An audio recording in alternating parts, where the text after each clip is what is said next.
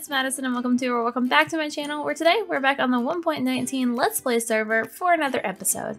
Now, um, it's been quite a while since I've recorded an episode for the server, um, and I'm sorry for that. There's been a lot going on, and uh, yeah, yeah. But I'm back now, and um, I have big plans, as usual.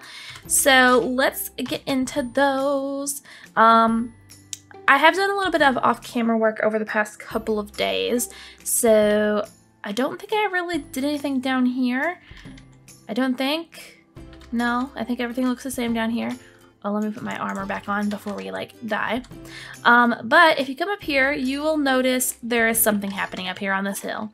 So, if we go behind our little starter house, we have a bunch of chests here, and we have an outline. Yes, let's go into the free cam for this.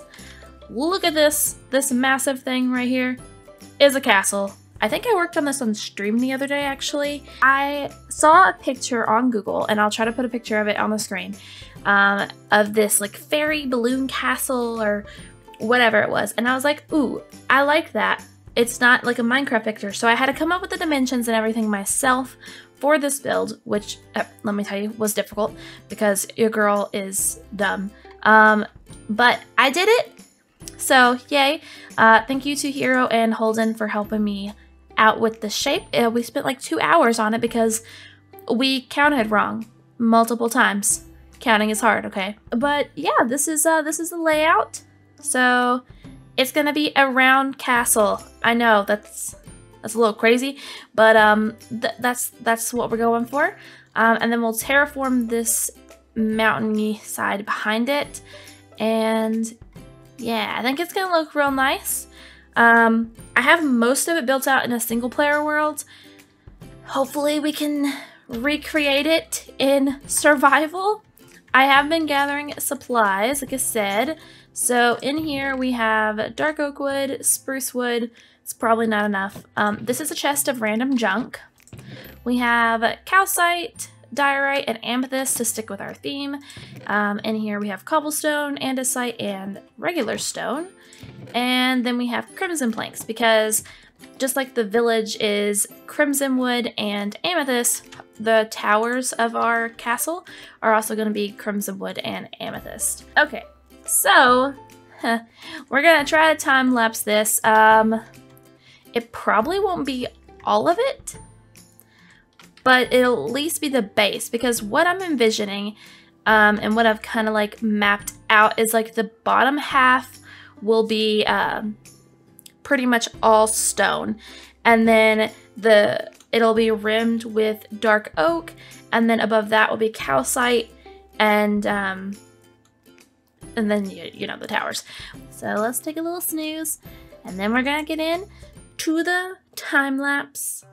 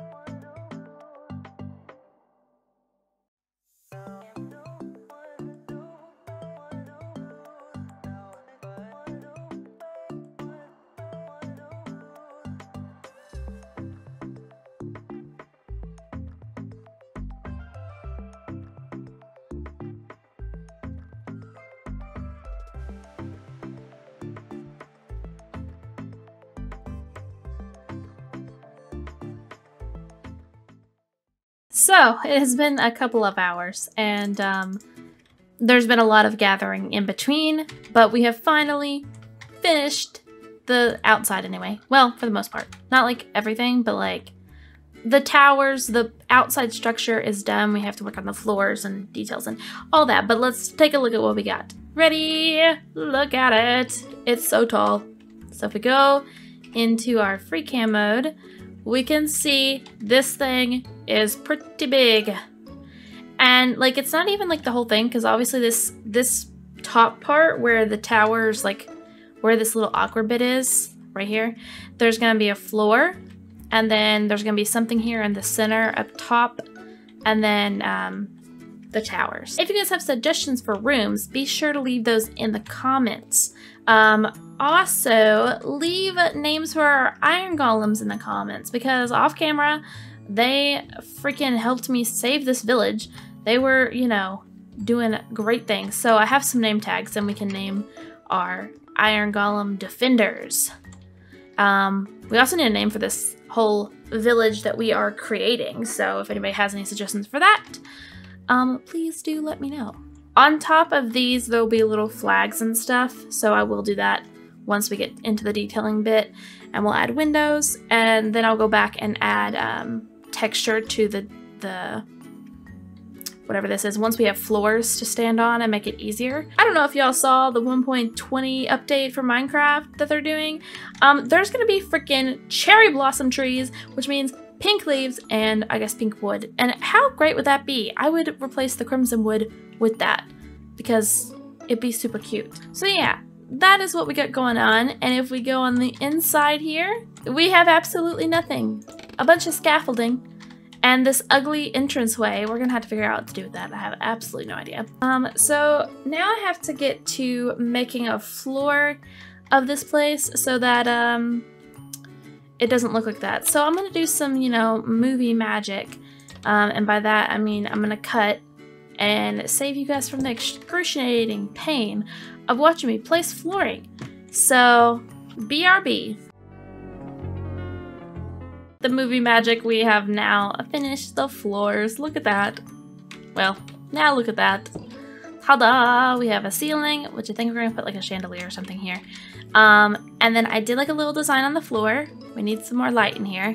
So I may add in some other little bits to light up the floor. Um, but I did this like little pattern on in the middle. And my idea is that we'll have like a throne here and on either side we'll have like a split double staircase that leads up back here and then leads up to the top floor, I think. But if we go up here, we'll get to the top, oh, the top, where I have placed trapdoors around the edge to like keep this marble bit away. And then we have this, and then we have to build the structure here in the middle, which I don't know exactly how I'm building that yet. I haven't actually planned that out. So, but this is what we got so far, so I think it's looking pretty good, if I do say so myself. Like, this thing is pretty massive. I love it, though. Look how nice it looks! And once we get that middle piece, it'll come together, and then we can add just, like, details. We may have like a little moat around. Maybe we'll have like a, a moat and then have like a, a bridge across and then have it lead here. And then that way it'll lead into the center of town. Oh no. Well, that's that kind of sucks. This doorway is not center with the tree. Oh well. Okay, so I may have got a little carried away. I did some of this on stream. So, um, follow me on twitch.tv slash Madison Elizabeth Gaming for that. But I did a little bit off camera too, just while I was in call with some friends. And, uh, um, well, yeah, I got a little carried away. So let's take a little look-see at what I've done. So my inventory is a straight up mess, but, um, who gave me a diamond? Oh, May gave me a diamond. Um, yeah, so if you notice, our little starter base has uh, moved. It's moved, and uh, it's moved over here. I basically just did the exact same thing, floor, everything. Kept it looking the same in here for, you know, nostalgia purposes, but now it's just moved over there. Kinda out of the way, but you can still tell it's ours by the sheep head and stuff like that. Um, oh, we got some new llamas because a wandering trader died and left his llamas. Um, I think that's all really that's happened out here. Um, besides this house being gone. And oh, May left this little bush thing, which looks really cute. And she stole some moss block, um, which is cool. Oh, there's also a raid. So now we have another flag. Goody. Um, but I have not done the tower because that's going to take a lot. And I think I may do it another episode.